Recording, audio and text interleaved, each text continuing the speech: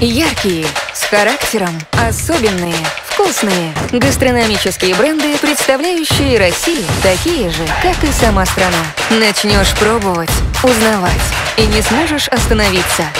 Давайте отправимся вместе с порталом «Живое наследие» в гастрономическое путешествие по нашей стране.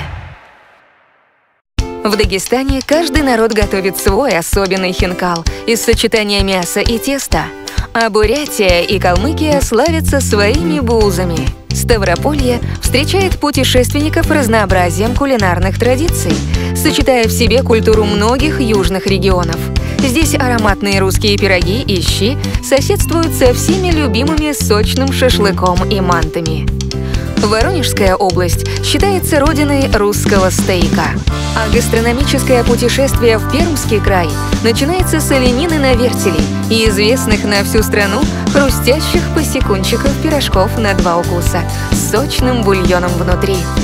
Тульский, Вяземский, Белевский, Городецкий и Покровские пряники. Вкусная гордость и настоящие гастрономические бренды своих регионов.